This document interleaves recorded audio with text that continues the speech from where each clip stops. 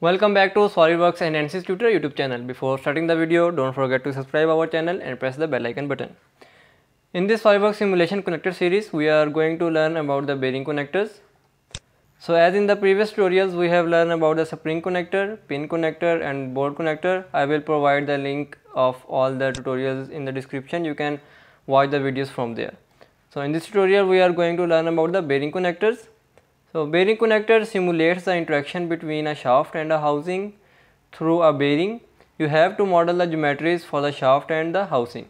So for bearing connector you don't have to uh, make the solid model of the bearing. You just make the shaft in the housing and then you will apply the bearing connector to the two faces. So this is our assembly and problem. We are going to fix this base model in the yellow color and we will apply the radial load of 600 Newton on this rotor. So let me show you the assembly. So the yoke or the base model in the yellow color is made with the sheet metal. So let me show you that we have used the sheet metal command for this base. You can see that it can be flattened too. So this is the rotor made with the solid shapes like boss extrude and simple chamfer and pattern command. So we have used a split line command like this to make this faces. So this is our shaft face and this one is our housing face. We will apply bearing connectors to these faces. First of all simply go to SolidWorks settings, select SolidWorks simulation from here, go to simulation tab, select new study from here and select OK. So first of all you can see that there are two parts one is rotor and second one is yoke. So the yoke is made of sheet metal therefore it is showing this sign. So we have to use it or treat it, as solid. So we will select treat as solid from here. If we will not select treat as solid it will be treat as sheet metal. So we have selected it as a solid and we have applied the material of AIS SI 1020 steel. So now we will simply go to the connections and select bearing from here. So first of all we are going to apply the bearing to this left shaft and housing. So basically this uh, cylindrical face or circular edge is for the shaft. So select the shaft face from here and this one is for housing. So we will select this face.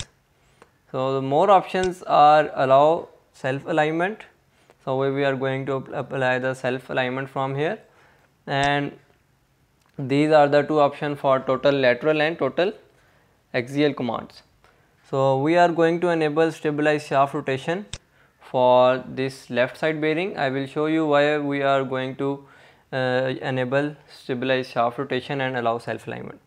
So, select OK from here and now we are going to use the bearing for the right side. Again simply select this shaft and select the housing from here. So for that we are not going to use the stabilize shaft rotation. So why we have make the different bearings?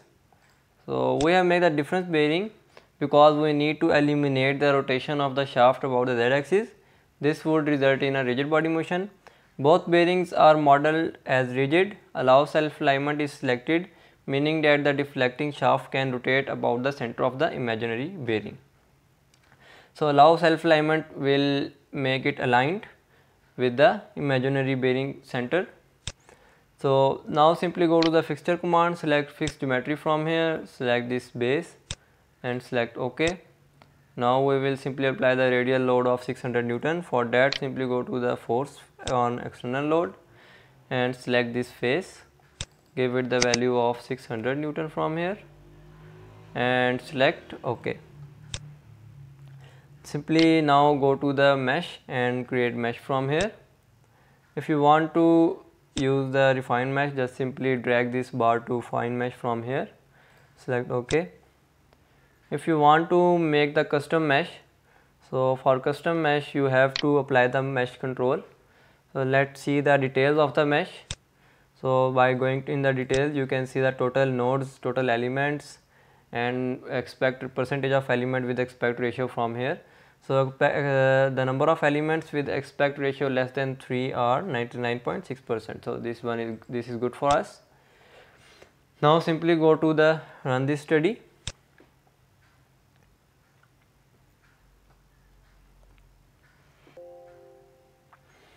So, now you can see that our results have been calculated and we have found the um, stress, displacement and strain. So, now you can see that the maximum displacement here is at the center or maximum uh, deformation. So, when I am going to animate it you can see that it is not penetrating or touching with these uh, housing and it is showing the bearing connectors here like this. So, like this from here you can easily found the uh, radial load or stresses using the bearing connectors without making the solid bearings.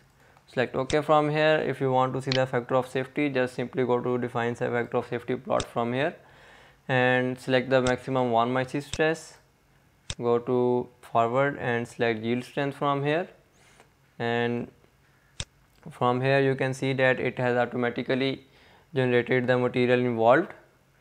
So, select next from here if you want to change the unit to megapascal select megapascal from here select next and if you want to see the factor of safety distribution you can select this and if you want to see the areas below factor of safety 1 you can select this. So, I am going to select the factor of safety distribution select ok from here.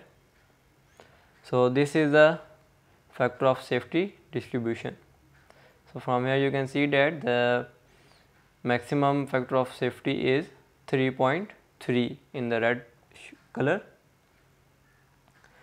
So, this was simple tutorial on bearing connectors. Stay tuned and thank you for watching. Keep supporting and keep sharing our channel for the more interesting videos.